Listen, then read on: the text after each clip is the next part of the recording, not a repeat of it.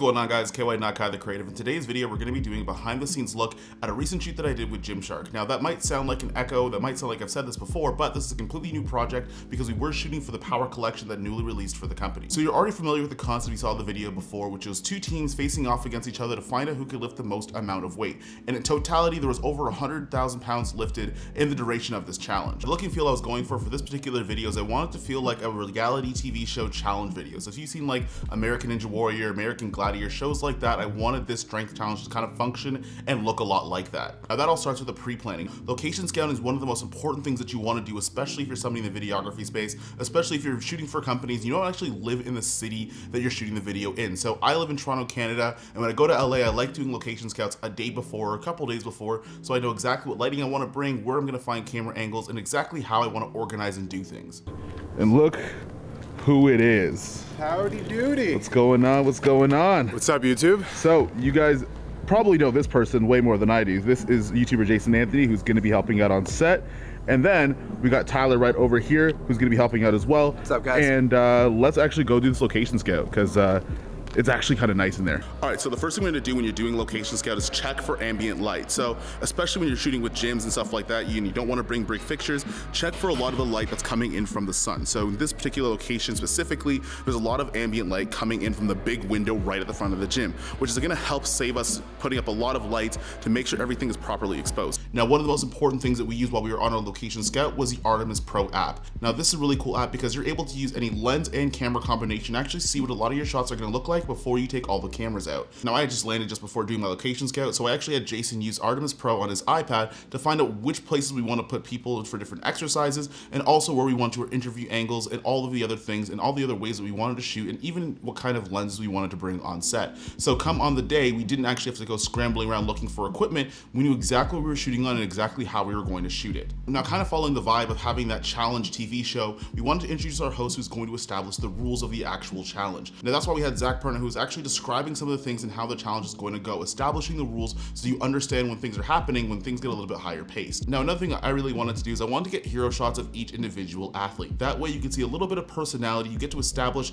who the characters are going to be in this challenge, and it gives you a way to kind of get you familiar with some of the athletes that are going to be in the video. Now, we actually ended up doing was we turned off all the lights in the gym, and we used a Nanlite Forza 500 as well as a mixed panel and a couple of Pavo tubes to actually set up our lighting scenario. Now, if you haven't noticed that all of the red lights are being used the red team and all of the green lights are being used for the green team. And we did that very specifically to make sure that you knew who was on whose team. But I'm pretty sure that was obvious if you weren't paying attention. Now, in terms of the gear that we actually used for this interview segment, showing off those hero shots, is we used two Sony FX6s, and they were attached onto 24 to 70 Sigma Art lenses. Now, the way that we did that is we wanted to make sure that we had two different angles. So if we wanted to cut things, keep things interesting, that you did have two separate angles in terms of all the interview shots. Now, what we also did as well while getting the hero shots on the Sony FX6 is get another camera on a gimbal as well. So we get those slow, buttery hero shots as you were coming in, just so the editing team, when we sent it back to the UK, had something to work with, and they had a lot of footage that they can kind of cut from later on into that day. Now here comes the challenge part, not necessarily just the weightlifting challenge, but the challenge of actually how we were gonna shoot everything. We had about 14 people in one room, we had four cameras, we had a lot of things going on, a lot of moving parts,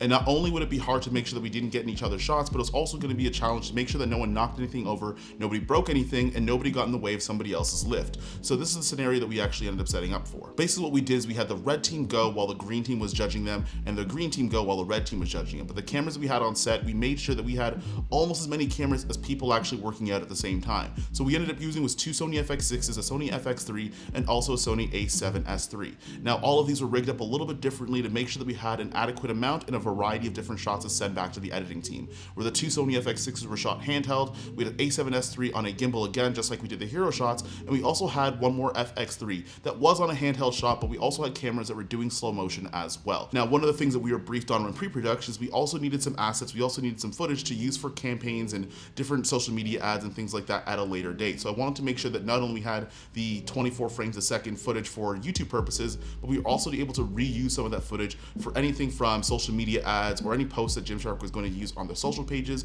or for any other use to be honest. The value of having four different cameras on set means that you could actually do all the settings that you want to do. If you want a camera that could shoot 60 frames a second, 120 frames a second, and 24. Because you have three cameras, you can just adjust to make sure all those settings are on the different camera bodies that you're bringing on set. I'm also gonna make a note and a testament to the Sony line of cameras that have come out in recent years. All of these cameras match really, really well. And even when I watch a lot of this footage back, I can't tell which camera was shot on which one. It's really nice that on the new Sony cameras, we've seen the Sony a7 IV, the FX3, a7S III, and the FX6, that all of the footage between all the cameras actually match up very, very well.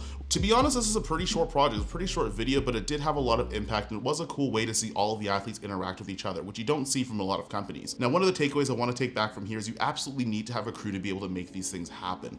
I wouldn't have been able to shoot any of this by myself, and just like on other videos, if I try to do this on my own, I would have had a terrible time. Trying to get four different camera angles in 10 minutes while a bunch of people are lifting, there's a lot of screaming, and there's a lot of moving parts would be impossible to do by yourself. So making sure that you have a pretty solid crew is a very essential part of making sure that a lot of projects like these, when you're working with bigger companies, actually ends up happening the way that you want it to. Last thing, if nothing else, I want you to take away that you don't necessarily need to have the more expensive, bigger Sony camera setups. We used a bunch of different cameras in the shoot.